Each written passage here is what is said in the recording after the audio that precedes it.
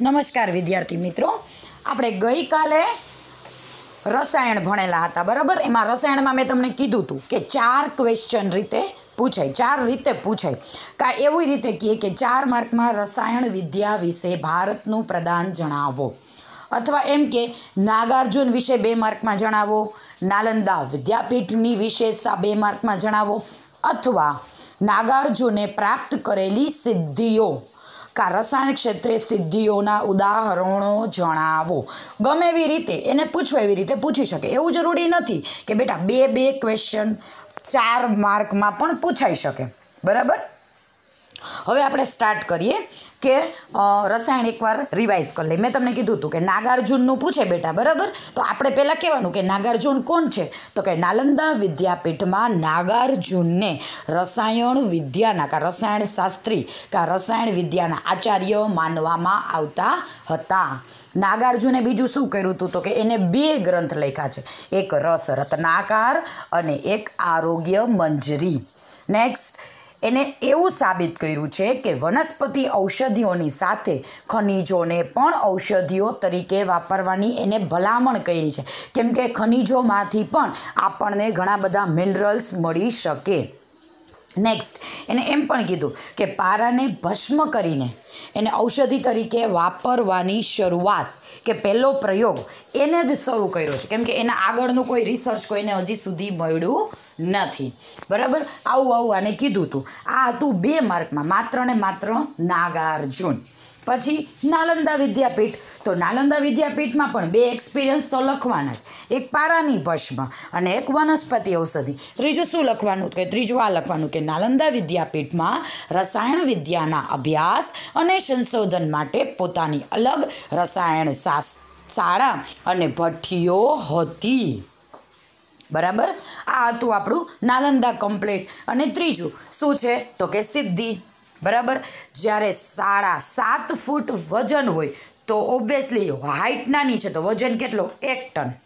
જ્યારે હાઇટ જ સાત ટન થઈ જાય બરાબર વજન જ સાત ટન થઈ જાય, તો હાઇટ કેટલી થઈ જાય? ચોવીસ ફૂટ. બરાબર? અને એક હતું અઢાર ફૂટનો. બરાબર? ભગવાન બુદ્ધની પ્રતિમા, જે નાલંદા વિદ્યાપીઠમાંથી મળી આવેલી છે. ત્રણ જગ્યા આપી છે. દિલ્હી, સુલતાનગંજ, બરાબર? અને ત્રીજી આપણને આપી હતી નાલંદા. અને એ જે લોહ સ્તંભ છે એ એવો લોહ સ્તંભ છે કે હજી પણ એને ટાઢ તડકો કાંઈ પણ લાગ્યું લાગે. એ તો લાગે જ જો સવારમાં અત્યારે છે કેવું બધું વાતાવરણ છે, ઝાકળ ઝાકળ જેવું. અને સવારમાં ઠંડી લાગે, પછી વળી બપોરે એ ત્રણ વાગે એકદમ ફૂલ અને તડકો હોય. બરાબર? વળી સાંજે ઠંડી હોય. કાં સવારમાં જરા જરા છાંટાઈ આવતા હોય, કે રાતે જ છાંટા પડે છે. તો ઓબ્વિયસલી છે કે એ રસાયણમાંથી બનાવેલો છે. તો એને ઇફેક્ટ તો થાય જ. આપણા સ્કૂલની બારી છે ત્યાં તમે ઘણા નાના નાના છોકરાઓ છે ને, એમ ખોતરી નાખે, કલર વયો છે પછી એ તમને શું દેખાય? લોખંડ. તો એના ઉપર લોખંડને હવા, વાતાવરણ, ભેજ, આબોહવા બધાની અસર કરે છે. તો એ શું થવા માટે થોડાક સમય પછી બે ત્રણ મહિના પછી તમે જુઓ, તો એ તમે આમ ખોતરો ને તો તમને શું દેખાય? તો કે કાટ તમારા હાથમાં આવે.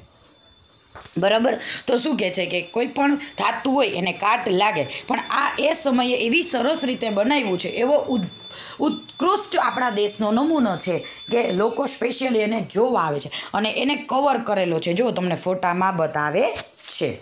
બરાબર સ્ટુડન્ટ્સ આ હતો આપણો કાલનો ક્વેશ્ચન રિવાઇઝ નેક્સ્ટ કાલનું શું રિવાઇઝ કરવાનું હતું? તો કે વૃક્ષ. વૃક્ષ કોણ? તો કે વૃક્ષની નીચે કોણ બેસે? તો કે મુનિ. મહામુનિ પારાસર. યોગ પતંજલિ અને યંત્ર સર્વસ્વ. યંત્ર કેવા હોય તો કે ભારે. તો મહર્ષિ ભારદ્વાજ. બરાબર? હવે જો આપણે એક કરીએ આજે. કાલગણના. કોકે આપણે એમ કે હાલ તો આ ટોટલ મારતો. બરાબર?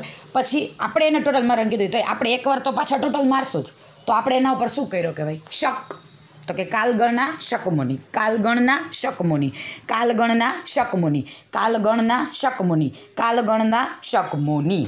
બરાબર સ્ટુડન્ટ્સ આપણું આજનું આ કમ્પ્લીટ કેટલા કર્યા આપણે? નીચેથી ચોથો, પાંચમું, છઠ્ઠું, સાતમું. ચાર વસ્તુ કરી. હવે જેમ જેમ આપણે કરતા જશે એમ એમ પાકું કરશું. બરાબર સ્ટુડન્ટ્સ આજે બહુ જ સરસ. સહેલામાં સહેલો ક્વેશ્ચન પાકો કરાવું છું. વાસ્તુશાસ્ત્ર. બરાબર? આપણા રેગ્યુલર આપણે લોકો જે બધા મિડલ ક્લાસમાં છીએ, બરાબર? તો મિડલ ક્લાસ લોકોને બહુ ઓછું ઇફેક્ટ પડે છે કે એ લોકો ઓછું ધ્યાન દે છે વાસ્તુશાસ્ત્રમાં. પણ ઘણા લોકો જે રીચ લોકો હોય, જે પ્રોજેક્ટ મોટા મોટા બનાવતા હોય એ લોકો શું કરતા હોય? તો કે વાસ્તુશાસ્ત્ર પ્રમાણે જ ઉત્તર દિશા દક્ષિણ દિશા જમ, બધી દિશા વિચારી, સમજી અને એવી જ જગ્યાએ વસ્તુ પ્લોટ લેતા હોય અને એ મકાન એવી જ રીતે બનાવતા હોય. એ અત્યારે થોડુંક જતું રહ્યું છે. પહેલાંના સમયમાં અનહદ વાસ્તુશાસ્ત્ર વિશે માનતા હતા લોકો. અત્યારે આપણા લોકોમાં નથી, પણ જે રીચ વ્યક્તિઓ છે, કે જે ભગવાનમાં બહુ વધારે પડતું માને છે, બરાબર? વાસ્તુશાસ્ત્રમાં માને છે. ધાર્મિક વ્યક્તિઓ છે એ બધામાં એવું છે હજી. શું કે છે? વાસ્તુશાસ્ત્ર. પ્રાચીન ભારતનું વાસ્તુશાસ્ત્ર ક્ષેત્રે મહત્ત્વનું પ્રદાન છે. પ્રાચીન ભારતમાં છે ને, વાસ્તુશાસ્ત્રોને અનહદ એ લોકો માનતા હતા. વાસ્તુશાસ્ત્ર એ જ્યોતિષનું જ્યોતિષશાસ્ત્રમાં શું તો કે અમને જોઈ દે કે ભાઈ જો તમારા લગ્ન આ તાર આવી રીતે કરો, આમ કરો, આ દિવસે મુહૂર્ત સારું છે, બરાબર? પછી પૂજા ને પાઠ ને આ ને તે ને, બરાબર? તો વાસ્તુશાસ્ત્ર જેવું જ સિમિલર છે. શું છે? જ્યોતિષશાસ્ત્ર, બરાબર? તો શું છે? બે ભાઈઓ છે. તો વાસ્તુશાસ્ત્ર એ જ્યોતિષશાસ્ત્રનું કેવું અંગ છે? અવિભાજ્ય.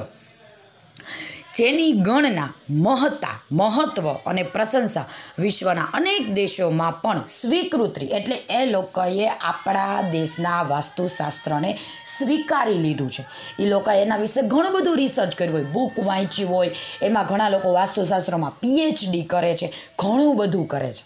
બરાબર ને? ફોરેનરો તો આ બધી વસ્તુમાં બહુ જ માને. કેમ કે એ લોકો જ્યારે અહીંયા વિઝિટ કરવા આવે ને, અહીંયા ફરવા આવે ને, ત્યારે એ બધું એટલું બધું નોટ ડાઉન કરતા હોય, પૂછતા હોય ફોટા પાડતા હોય અને ત્યાં પોતાના દેશમાં જે નાના વિશે રિસર્ચ કરે છે, બરાબર? તો શું કહે છે? આપણા દેશની વસ્તુને એ લોકોએ સ્વીકારી છે અને અનેક દેશોમાં, એક દેશમાં નહીં, પ્રાચીન ભારતમાં, આપણા પહેલાંના સમયમાં, બ્રહ્મા, નારદ, બૃહસ્પતિ, ભૃગુ, વશિષ્ઠ, વિશ્વકર્મા.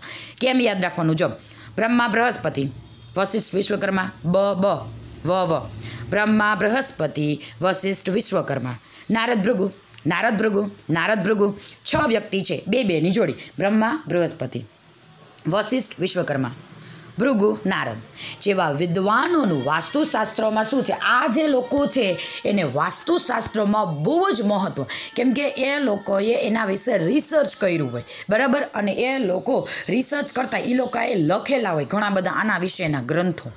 વાસ્તુશાસ્ત્રોમાં શું હોય એકચ્યુઅલી તો કે રહેવાની જગ્યા, મંદિર, મહેલ અશ્વશાળા એટલે ઘોડાની શાળા. કેમ કે પહેલાં રાજાના, રાજા પાસે ઘણા બધા હાથીઓ, ગજ, પછી ઘોડા, બળદ એ લોકો યુદ્ધ માટે વાપરતા. અને જેમ પશુઓની સંખ્યા એ લોકો પાસે વધારે, એમ એની મહાનતા પણ કેવી હતી? પહેલાંના સમયમાં વધારે. તો કે અશ્વશાળા કિલ્લા શાસ્ત્રાગાર, બરાબર? પછી નગર. શાસ્ત્રાગાર એટલે જ્યાં એ લોકોને ભણાવવામાં આવતા હોય. ઓલા ઓલા લોકો, નાના નાના બાળકોને. અને શસ્ત્ર કહે છે. બરાબર? શાસ્ત્રાગાર. એટલે કે શસ્ત્ર રાખવાની જે જગ્યા હોય એ વગેરેની રચના કેવી રીતે કરવી?